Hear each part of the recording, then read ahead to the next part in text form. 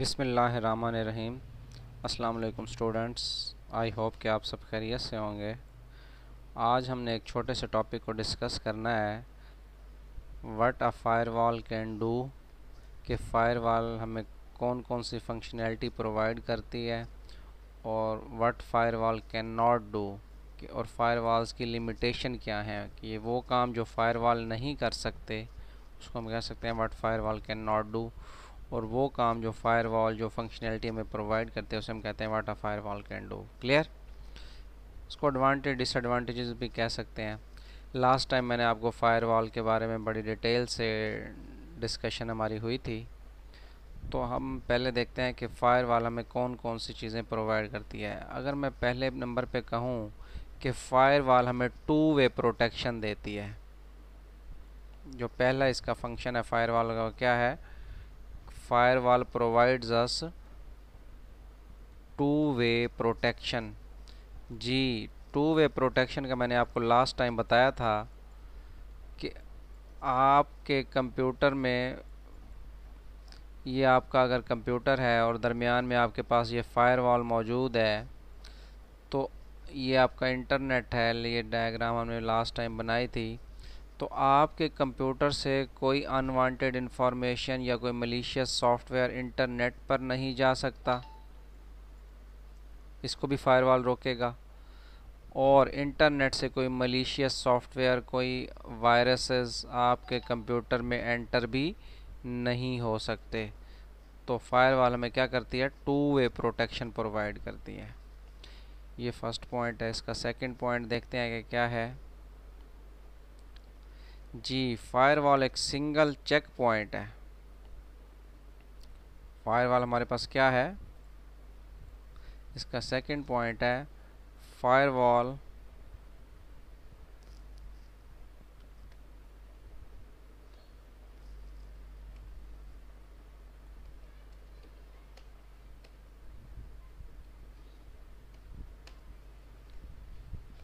जी firewall एक single check point है आपके पास।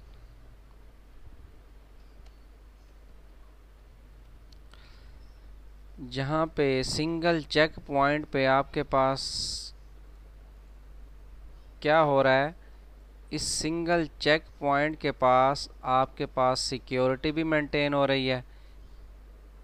सिक्योरिटी मेंटेन हो रही है ना कि आपने बता दिया है फायरवॉल को किस किस्म के पैकेट्स जा सकते हैं और किस किस्म के पैकेट्स आपके नेटवर्क से नहीं जा सकते। या किस किस्म के पैकेट्स आ सकते हैं और किस किस्म के पैकेट्स नहीं आ सकते। इसके अलावा सिंगल इसी सिंगल चेक पॉइंट पे ऑडिटिंग भी परफॉर्म हो रही है। क्या परफॉर्म हो रही है? ऑडिटिंग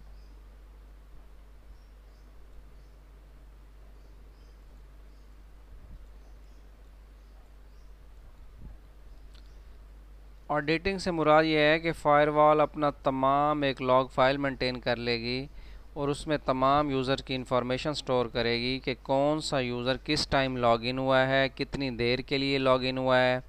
अगर कोई यूज़र रॉन्ग अटैम्प्ट करके फ़र्ज़ करें कि किसी को पासवर्ड और यूज़र नेम पता नहीं है और वो क्या करना चाह रहा है हिट एंड ट्रायर बेसिस पे जिसको हम कहते हैं, तुक्के लगा रहा है। तो वो इन्फॉर्मेशन भी फायरवॉल अपने पास सेव कर लेगी कि रॉन्ग अटैम्प्ट्स कितनी हुई हैं, कब हुई हैं। जब ये ऑडिटिंग होगी तो डेफिनेटली हम कह सकते हैं कि फायरवॉल ट्रैकिंग भी परफॉर्म कर रही है। क्या कर रही है? ट्रैकिंग भी परफॉर्म कर रही है। उस चीज़ों के बारे में हमें पता चल जाएगा कि कौन सा यूज़र कितनी देर लॉगिन हुआ है या किस यूज़र ने और लॉगिन और पासवर्ड से रॉन्ग अटैम्प्ट्स की गई हैं। ये तीन काम बेसिकली इस सिंगल चेक पॉइंट पे परफॉर्म हो रहे होते हैं। सिक्योरिटी मतलब नो इन्फॉर्मेशन इज़ वनरेबल या जो आपके पास मलिशियस इन्फॉर्मेशन है, वो बाहर ना जाए नेटवर्क आपके कंप्यूटर से और इंटरनेट से आपके कंप्यूटर में ऑडिटिंग क्या है? तमाम यूज़र्स की लॉग इन इंफॉर्मेशन को स्टोर कराना और ट्रैकिंग ये चीज़, इस चीज़ को ट्रैक करना, देखना कि कौन सा यूज़र कितनी देर के लिए लॉगिन रहा है? क्लियर तो ये सारे काम एक सिंगल चेक पॉइंट मतलब फायरवॉल के ऊपर परफॉर्म हो रहे होते हैं। क्लियर अब हम देखते हैं इसका थर्ड पॉइंट कि फायरवॉल एज ए नेट काम कर रहा होता है। क्या काम कर रहा होता है?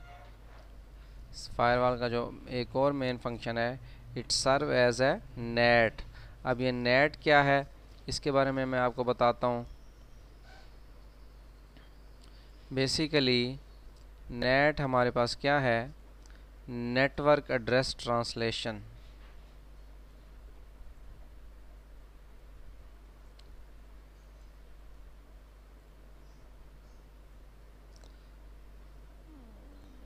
network address translation इसको मैं आपको एक एग्ज़ाम्पल से समझाता हूँ।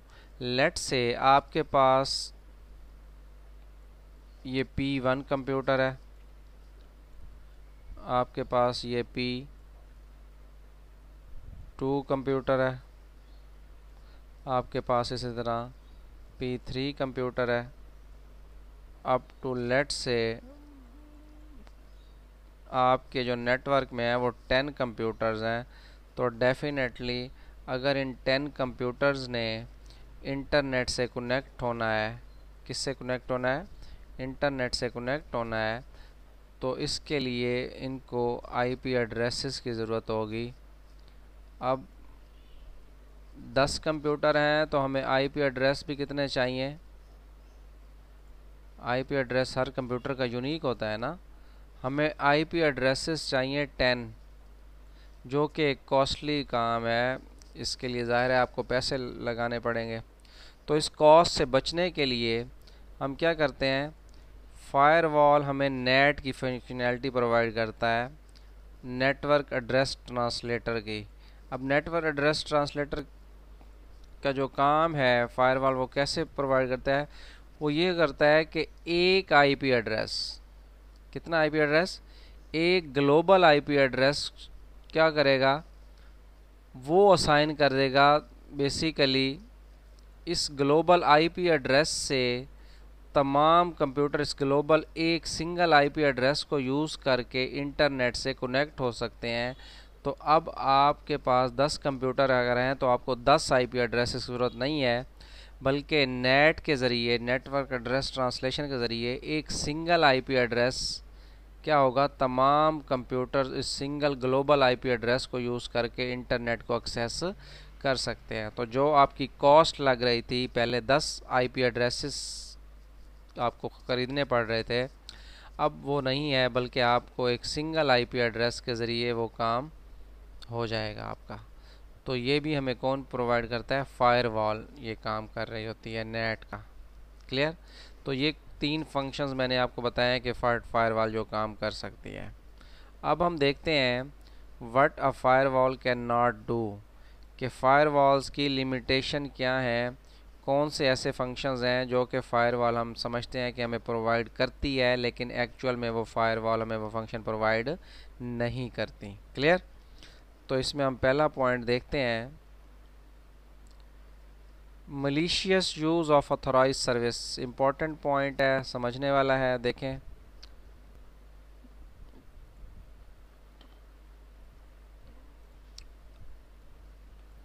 Malicious use of authorize service का मतलब है कि एक ऑथोराइज सर्विस है, लेकिन आप उसका गलत इस्तेमाल करते हैं। अब ये ऑथोराइज सर्विस क्या है, इसके बारे में बता रहा हूँ। आपके पास विंडो में एक फैसिलिटी है टेलनेट की। काफ़ी सारे स्टूडेंट्स को पता होगा कि टेलनेट क्या है। जिसको नहीं पता, जिन स्टूडेंट्स को, उनको मैं बता देता हूँ कि आपने जब रिमोट कनेक्टिविटी करनी हो लेट से आपने क्या करनी है? रिमोट कनेक्टिविटी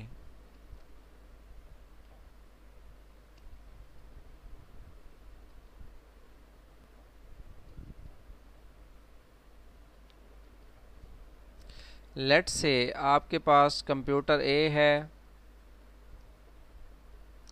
और ये आपके पास कंप्यूटर बी है। और आप इन दोनों के दरमियान कनेक्टिविटी करना चाहते हैं तो उसको रिमोट कनेक्टिविटी कहते हैं ना। तो ये दोनों रिमोट कनेक्टिविटी आपस में कनेक्टिविटी बनाना चाहते हैं तो विंडोज़ के अंदर आपके पास एक फैसिलिटी है टेलनेट टेलनेट में क्या होता है कि यूज़र ए पे आप लॉगिन होंगे।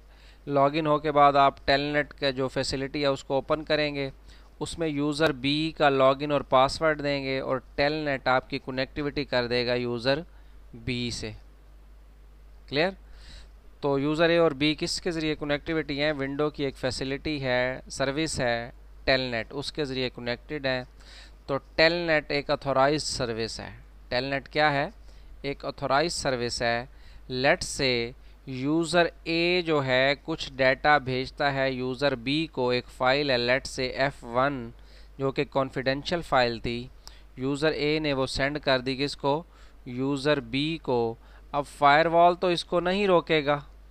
फायरवॉल इसको नहीं रोकेगा, क्योंकि जो टेलनेट के ज़रिए कनेक्टिविटी है, वो ऑथोराइज सर्विस है। तो क्या है?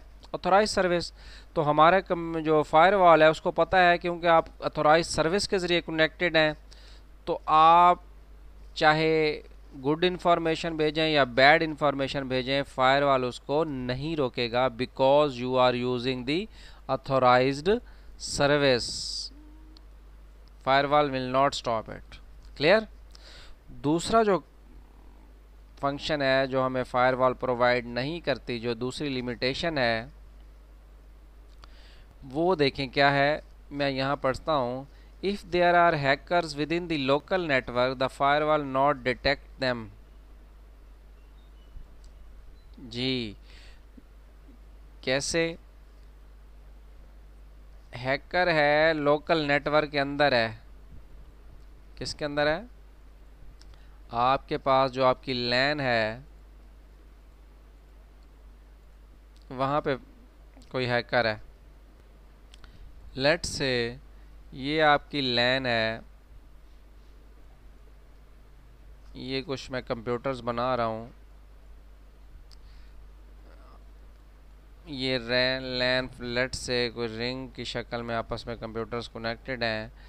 अब यहाँ पे कोई हैकर क्या करता है? इस कंप्यूटर पे जहाँ पे मैंने एरो लगाया है, इस पे अटैक करता है और यूज़र नेम और पासवर्ड उसको पता चल जाता है।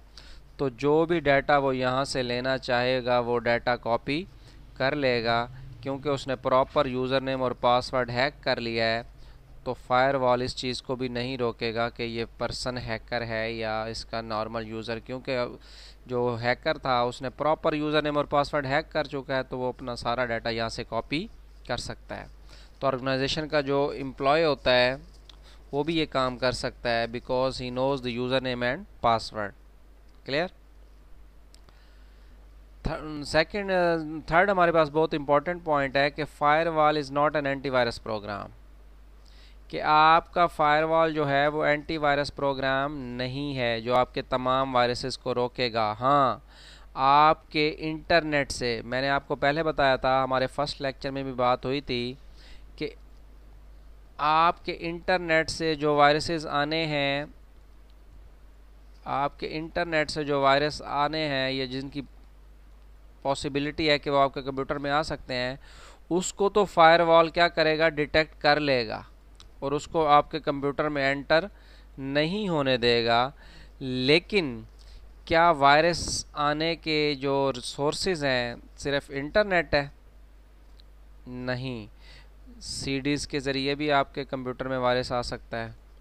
पोर्टेबल मीडिया जिसमें आपके पास यूएसबी ड्राइव है। उसके ज़रिए भी आपके पास, आपके कंप्यूटर में वायरस आ सकता है। या आपके नेटवर्क में अगर किसी कंप्यूटर में वायरस है तो उससे भी आपके कंप्यूटर में वायरस आ सकता है। तो अगर इन सोर्सेज से वायरस आपके कंप्यूटर में आता है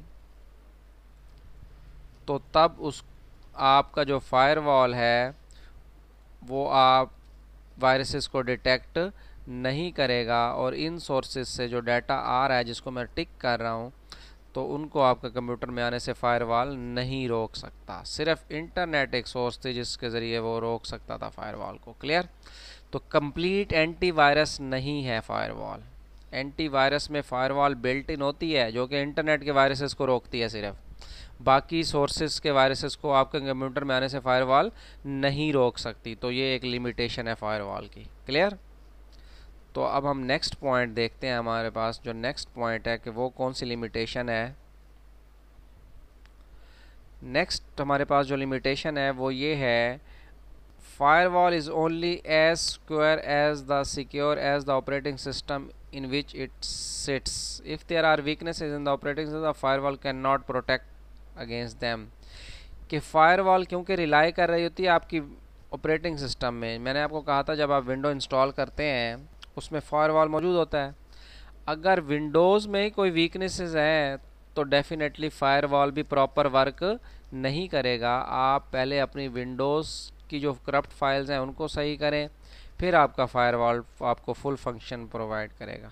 क्लियर और इसका जो लास्ट पॉइंट है कि firewall is not an artificial machine it can not classify information as good or bad clear आपने कुछ पैरामीटर्स जो दिए हैं, उन पैरामीटर्स को देखेगा। उन पैरामीटर्स पे कोई पैकेट्स फुलफिल हो रहा है तो उसको आने देगा।